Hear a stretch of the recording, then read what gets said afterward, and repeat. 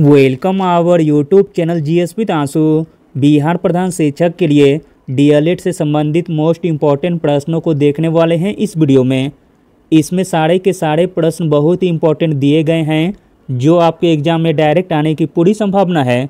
इसलिए वीडियो को लास्ट तक ज़रूर देखें। स्टार्ट करने से पहले आप लोगों से एक ही रिक्वेस्ट है, प्लीज़ वीडियो को लाइक और किसी भी एक ग्रुप में शेयर ज़रूर कर दीजिएगा। चलिए शुरू करते हैं। पहला प्रश्न है, बच्चों की विचारधारा अमूर्त के बजाय मूर्त अनुभवों और अवधारणाओं में स्थापित है, यह अवस्था है। तो यह अवस्था है सात से बारह वर्ष तक का, ऑप्शन नंबर ए।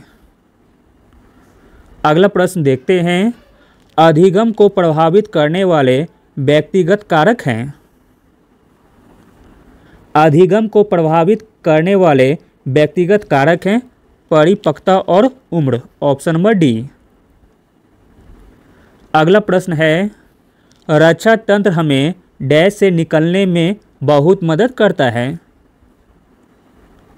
रक्षा तंत्र हमें तनाव से निकलने में बहुत मदद करता है। Option number B. अगला प्रश्न है, शिक्षा का अधिकार अधिनियम 2009 शिक्षक के लिए प्रति सप्ताह काम के घंटों की न्यूनतम संख्या कितनी निर्दिष्ट करता है? कितनी निर्दिष्ट करता है तो 45 घंटा, ऑप्शन नंबर बी। शिक्षा का अधिकार अधिनियम 2009 शिक्षा के लिए प्रति सप्ताह काम के घंटों की न्यूनतम संख्या 45 घंटा निर्दिष्ट करता है। अगला प्रश्न देखते हैं। बच्चों के लिए निशुल्क एवं अनिवार्य शिक्षा का अधिकार अधिनियम कितने वर्ष के लिए बच्चों के लिए लागू है? इम्पोर्टेंट प्रश्न है। बच्चे के लिए निशुल्क एवं अनिवार्य शिक्षा का अधिकार अधिनियम 6 से 14 वर्ष के लिए लागू है। Option number A. अगला प्रश्न देखते हैं। मनोविज्ञान शिक्षा का आधारभूत विज्ञान है यह किसने कहा है? मोस्ट इंपॉर्टेंट प्रश्न है। मनोविज्ञान शिक्षा का आधारभूत विज्ञान है यह कहा गया था स्नीकर के द्वारा? Option number B. अगला प्रश्न देखते हैं। हिंदी अक्षरों को बालक किस आयु में पहचानने लगते हैं? हिंदी अक्षरों को बालक पहचानने लगते हैं पाँच वर्षों में, ऑप्शन नंबर सी। अगला प्रश्न है, एलेक्सिया है। एलेक्सिया है पढ़ने की अक्षमता, ऑप्शन नंबर ए। अगला प्रश्न है, पियाजे की औपचारिक संक्रियात्मक अवस्था किस आयु अवधि तक मानी जाती है? तो दोस्तों, वह आयु अवधि है 11 से 15 वर्ष। ऑप्शन नंबर ए, प्याजे की औपचारिक संक्रियात्मक अवस्था 11 से 15 वर्ष आयु अवधि तक मानी जाती है। अगला प्रश्न देखते हैं।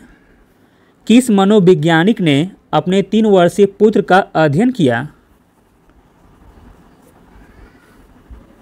जिस मनोवैज्ञानिक ने अपने तीन वर्षीय पुत्र का अध्ययन किया। वह मनोवैज्ञानिक थे। पेस्टोलॉजी, ऑप्शन नंबर ए। अगला प्रश्न है, बालक का विकास होता है। बालक का विकास होता है सिर से पैर की ओर। अगला प्रश्न है, गर्भ में सर्वप्रथम निर्माण होता है। गर्भ में सर्वप्रथम निर्माण होता है सिर का, ऑप्शन नंबर बी। अगला प्रश्न देखते हैं। बालक अपनी माँ को पहचानना प्रारंभ कर देता है। बालक अपनी माँ को पहचानना प्रारंभ कर देता है तीन माह में, ऑप्शन नंबर डी। अगला प्रश्न देखते हैं। बालक के जन्म के समय शिशु के मस्तिष्क का भार होता है।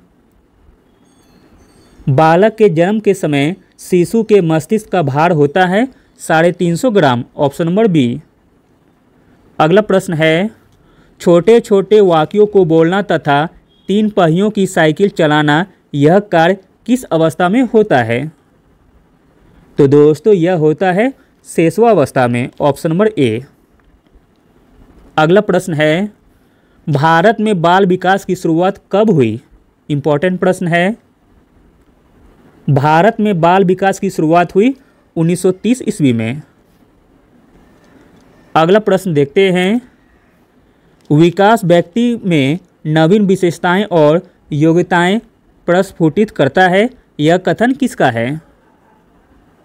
तो दोस्तों, यह कथन है हर लोग का। ऑप्शन नंबर ए, विकास व्यक्ति में नवीन विशेषताएँ और योग्यताएँ प्रस्फुटित करता है। यह कथन है हर लोग का। अगला प्रश्न देखते हैं। किशोरावस्था का एक नया जन्म है। इसमें उस्तर और श्रेष्ठ मानव विशेषताओं का जन्म होता है, यह कथन किसका है? तो दोस्तों, यह कथन है स्टेनली हॉल का, ऑप्शन नंबर सी। किशोरावस्था एक नया जन्म है, इसमें उत्तर और श्रेष्ठ मानव विशेषताओं का जन्म होता है, यह कथन है स्टेनली हॉल का। अगला प्रश्न देखते हैं। किशोरावस्था आदर्शों की अवस्था है, सिद्धांतों के निर्माण की अवस्था है साथ ही जीवन का समान समायोजन है, यह परिभाषा देने वाले कौन थे? तो दोस्तों, यह परिभाषा देने वाले थे जीन प्याजे, ऑप्शन नंबर बी। अगला प्रश्न देखते हैं। किशोरावस्था, बड़े संघर्ष, तूफ़ान और विरोध की अवस्था है, यह कथन है। तो यह कथन है स्टेनली हॉल का, ऑप्शन नंबर बी। किशोरावस्था बड़े संघर्ष, तूफ़ान और विरोध की अवस्था है। यह कथन है स्टेनली हॉल का। अगला प्रश्न देखते हैं। जीन प्याजे के अनुसार संज्ञानात्मक विकास की अवस्थाएँ हैं। जीन प्याजे के अनुसार संज्ञानात्मक विकास की अवस्थाएँ हैं चार। Option number A. अगला प्रश्न है, नैतिक तर्क अवस्था सिद्धांत किसने स्पष्ट किया? किसने स्पष्ट किया तो कोहलर वर्ग ने। Option number A. नैतिक तर्क अवस्था सिद्धांत स्पष्ट किया है कोहलर वर्ग ने। अगला प्रश्न है, a biographical sketch of infant किसने लिखी है?